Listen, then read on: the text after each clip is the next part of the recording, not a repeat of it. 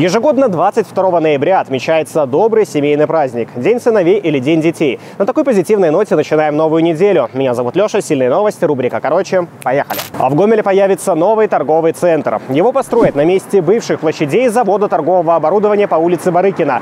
Старое здание при этом снесут, а на месте построят новое площадью 10 тысяч квадратов. Здесь планируется продавать непродовольственные товары. Нового инвестора пока не называют. Известно, что он белорусский с долей европейского капитала. К жителю Уэльса пришла Белочка. Она решила пополнить свои запасы на зиму, пробралась к нему на участок, залезла в кормушку и объелась орешками, да так, что не смогла вылезти обратно. Пришлось вызвать спасателей. Когда они приехали, Белка, словно узник, смиренно сидела в клетке, высунув голову и держась лапками за прутья. Спасатели ее и Белка, довольная, ускакала обратно в лес.